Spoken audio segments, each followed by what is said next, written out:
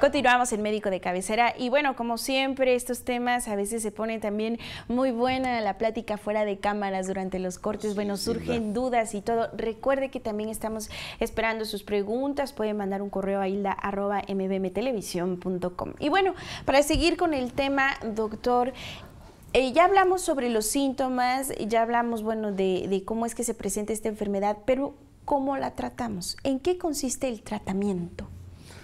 Bueno, el tratamiento consiste en saber frente a qué enemigo estamos. Sí. Y si conocemos el germen que la está provocando, definitivamente que vamos a tener más éxito.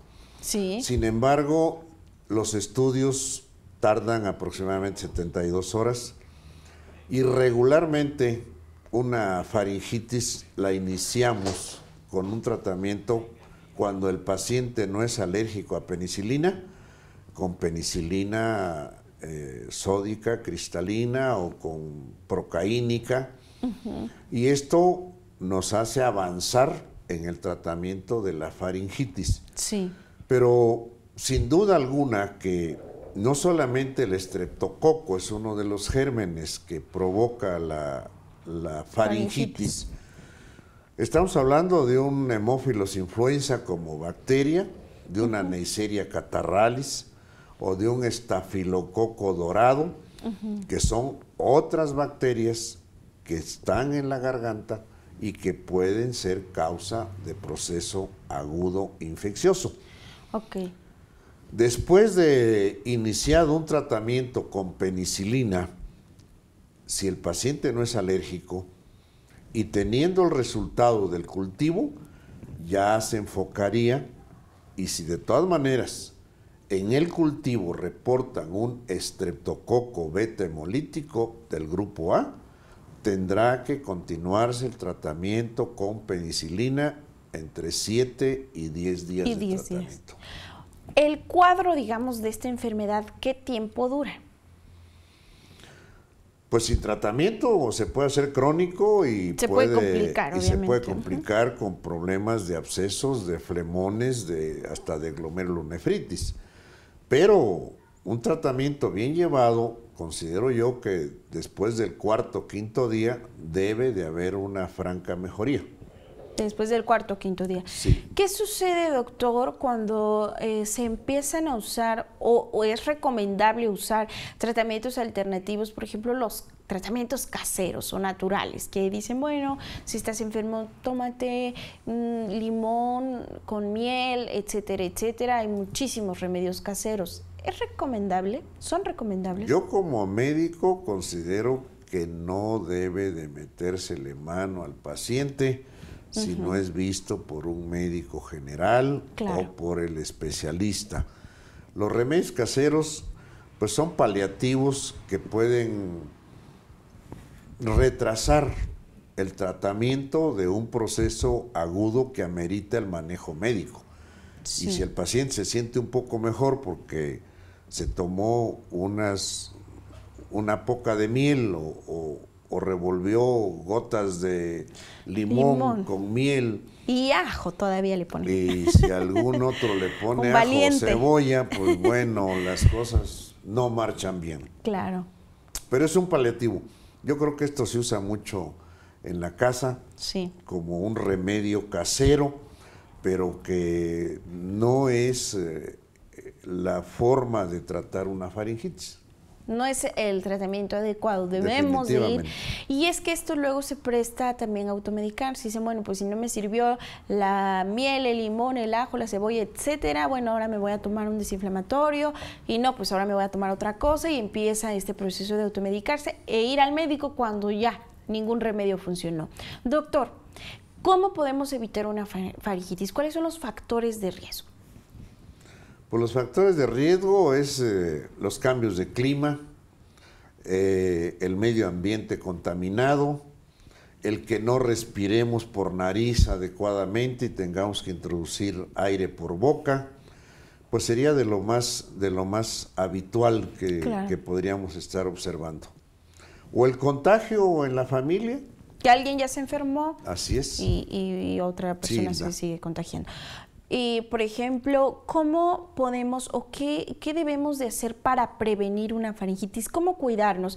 Esto se lo pregunto porque es común que, bueno, en estas temporadas los niños que van a la escuela se enferma uno eh, y luego contagia al compañerito y sana el compañerito y contagia al otro y etcétera, etcétera. Entonces es difícil, es difícil eh, pues no mandarlos a la escuela. Definitivo. ¿Cómo podemos reforzar quizás sus defensas para evitar este tipo de enfermedades? De la garganta? Bueno, pues sí hay elementos en la medicina moderna de ayudar a, las, a los pequeños con alguna vacuna para reforzar sus defensas y ese cuidado que tienen los padres para que el chico se bañe temprano, le sequen muy bien el cabello, lo arropen adecuadamente, y lleve bufanda o lleve un cubrebocas, y pues es, es el organismo el que va a responder cuando exista una afección. Y la responsabilidad de los padres, si lo ven afectado por dolor de garganta o un poco arriba de lo normal de su temperatura, pues dejarlo en casa y observarlo y llevarlo al médico. Claro. Doctor, ahorita que comentaba, bueno, dentro de los cuidados para evitar este tipo de enfermedades es, bueno, bañarse, secarse bien el cabello.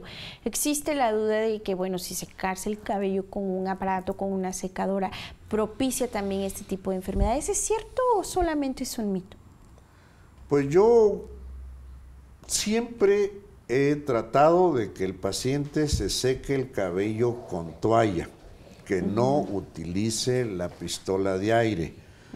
Y regularmente yo no, no, acepto, no acepto que el paciente se bañe de tarde o de noche el cabello y se duerma con cabello húmedo. Claro. A mí me da la impresión, por la experiencia, por los años, de que hay una reacción inflamatoria de rebote a nivel de los cornetes en la nariz y eso obstrucciona la respiración y ocasiona que el paciente tenga que respirar por boca.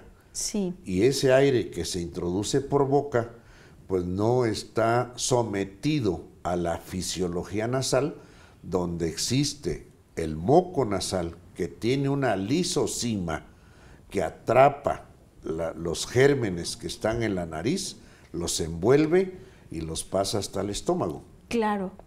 Qué bueno que nos explica esto, doctor. Bueno, son dudas que a veces surgen y más con el cuidado de los niños, que bueno, es, todavía son más delicados y están más susceptibles a padecer este tipo de enfermedades. La recomendación que nos acaba de hacer es también muy importante. Otro tema muy importante también respecto a las enfermedades de la garganta es que a veces eh, sucede que se piensa que se tiene alguna infección en la garganta o que hay alguna bacteria, un estreptococo que está afectando y resulta después de muchos estudios que no es así, sino que es una alergia y a veces sucede lo contrario. Se piensa, bueno, es que quizá tengo una alergia o algo y se me inflama eh, la garganta y se me tapa la nariz, etcétera, y resulta que es un estreptococo. ¿Cómo le podemos hacer ahí, doctor? ¿O cómo saber cuándo es que al examinar al paciente, definitivamente que el otorrino tiene la obligación, u otro médico general, de examinar nariz, garganta, oídos, palpar cuello, hacer exámenes de laboratorio y entre ellos una biometría hemática nos puede orientar si los eosinófilos están elevados para pensar que un paciente pueda tener una parasitosis intestinal o que pueda tener una alergia. Dependiendo del resultado de la biometría, también la inmunoglobulina E puede este, mandarse a hacerle al paciente en un laboratorio y si está elevada, pues pensar que el paciente sí tiene una tendencia alérgica. El examinar las fosas nasales y ver la palidez de mucosas nos orienta a pensar que es un paciente alérgico. Si el paciente en alguna ocasión ha tenido algún ruido en el pecho, un ronroneo de gato, y ese paciente es un probable alérgico asmático, pues nos orienta a pensar que también el problema de la faringe pudiera estar coludido con la alergia.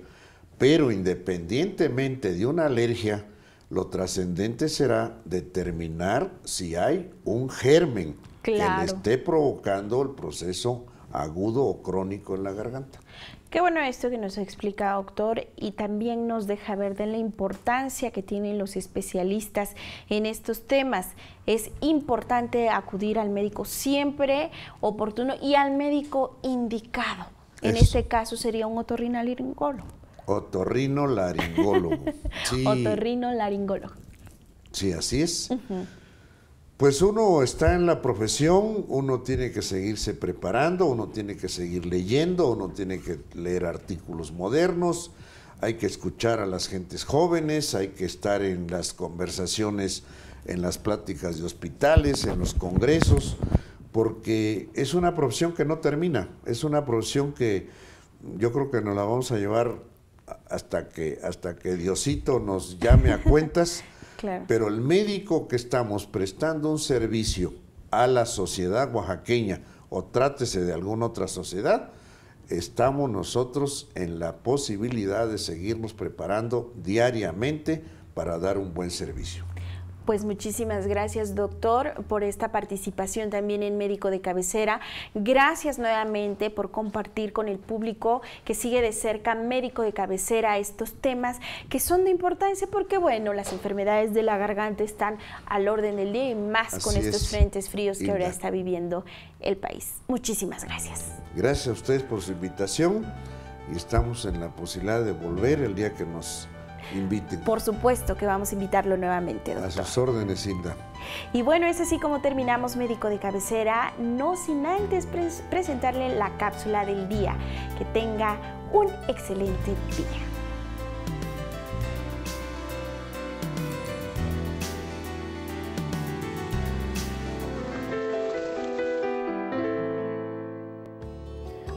¿Qué tal? Soy tu nutrióloga Montserrat Merlo Díaz del programa Médico de Cabecera. El tip del día de hoy es para aquellas personas que quieren bajar de peso. No dejes que los alimentos te controlen y se conviertan en una obsesión. Cuando sientas tú que el consumir los alimentos te causa algún conflicto emocional, acude con un especialista.